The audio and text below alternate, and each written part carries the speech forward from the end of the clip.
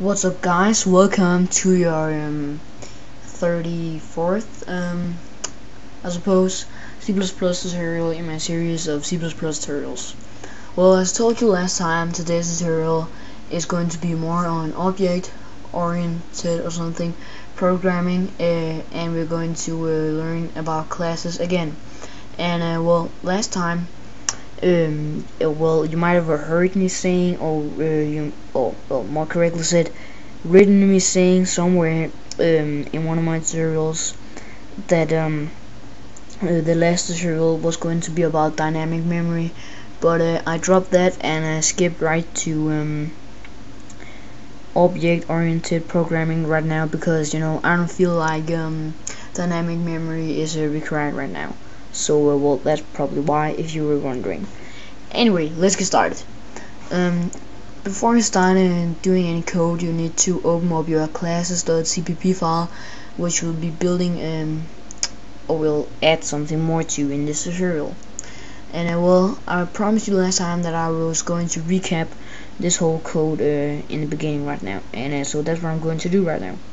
First of all, we got a class called rectangle and uh, as I was saying by default all the um, content of your class has a private hashes and that means that um, the elements and no sorry not the elements the variables and the functions and all that stuff that is inside your class can only be used inside the class. It cannot be called outside the class. So um, these are um, actually private variables so we have a private variable right here called x and a private variable called i. And then we got a public field and that means that everything typed below this public statement is going to be public. So and public means that it can be at this um, that these methods and uh, variables and everything can be used outside the class too. So um actually we got a public void called set values with two um that takes two arguments a int variable called a and an int variable called b. And what this function does is that it sets the private variable x equal to the value of uh, a and it also takes the um, private variable y and sets it equal to the value of b. Then we got a in called uh, array uh, no sorry uh, area. Yeah that's what it's called.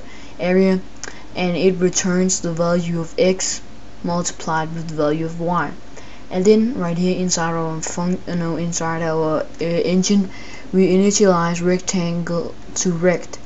And then we set the values of uh, this rect of this uh, rectangle called rect. We set the values to 3 and 4 and then we print out the array of that. And uh, so now that was your recap of uh, all that we got in this file so far well uh, what you got right um, here is actually what you call an object. This is an object and uh, it, it, you can actually think of it like a variable. The data type is um, the class name and the variable name is the um, you know that's the initialization that you type and uh, that's uh, basically you know the name. So we actually created a rectangle object right here or a rectangle variable right here called uh, rect. So we got a uh, one rectangle called rect. So now what if you would like a rectangle more? Then you just simply type the data type rectangle and this one is going to be called rect2 now you say um, rect2 dot set values um, 5 and uh, 500 because this is really a big rectangle.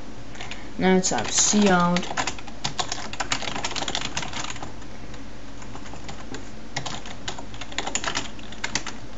area rect2 dot area. So now if you try and hit F9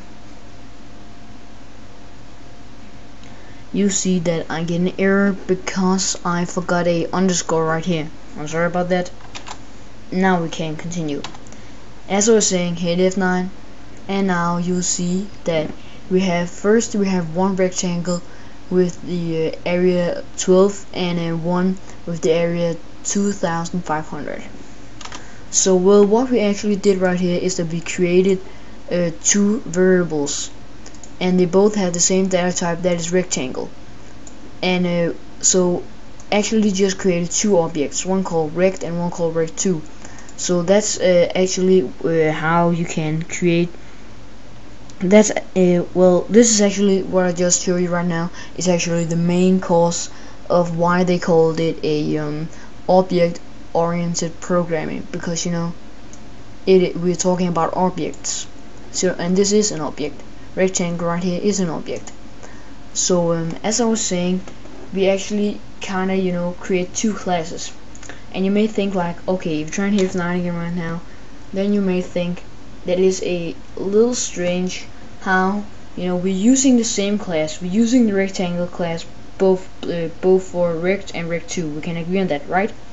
So it's weird how uh, this uh, area method can return different values.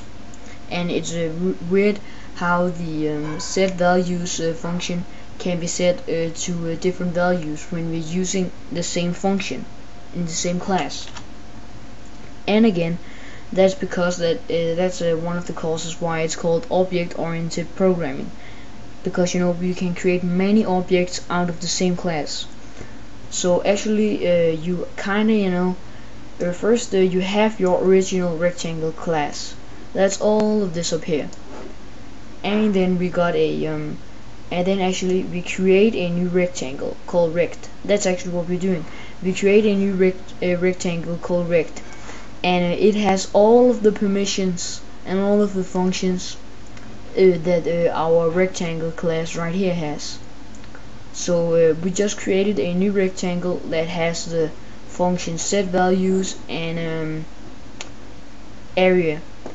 And then down here we got another rectangle called rect2 and it has all of the permissions and all of the um, functions and variables just like uh, rect um, so um, actually uh, that's the idea of it. You know they can work independent of each other. So you know it's like um, if you uh, think of it like this. The rectangle is like um, it's like the mother of all of these. And then uh, all of the objects you create are just children of it. So well you know you have a big mother up here. This is your mother. The class rectangle is your mother. And then uh, rect rectangle and then rect is a child of uh, rectangle. And uh, rect2 is a child of rectangle 2 and you know I don't know if you have a brother or sister or something but well your your mom and dad probably looked at it like this. Well what's in our house is both um, yours and your sister's. So well if uh, so well that's actually what we're doing right here.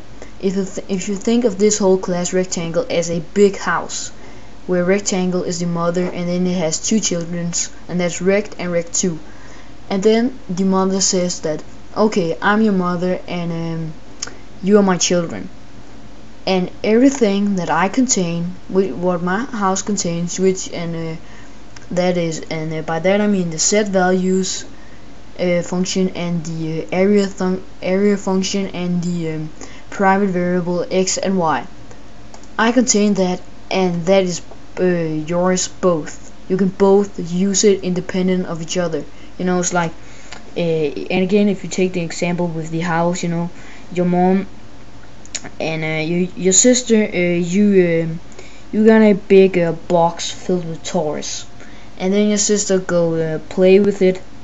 And then your sister go plays with the um, with one of these um, you know plastic superheroes or something.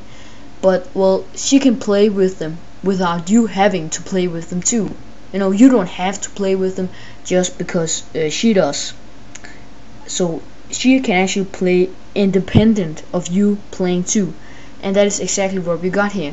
We got a mother two children and uh, all of the mother's uh, items which means uh, and by items I mean functions and uh, variables.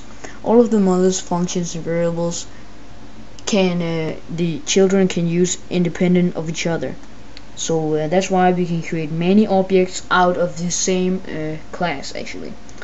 So um, that was your tutorial on how uh, you can uh, well part 2 of classes. Of course there's many many many more parts to come. So I'll just figure out what our next tutorial tutorial will be on. And uh, by that I'll see you in my next tutorial